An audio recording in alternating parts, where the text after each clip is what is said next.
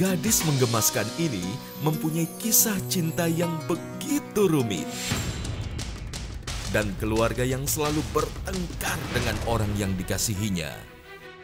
Saksikan Perilaku Cinta, Senin sampai Jumat, pukul 3 sore. Di TV berbayar Anda. Hanya di Z Bioskop Bollywood banget.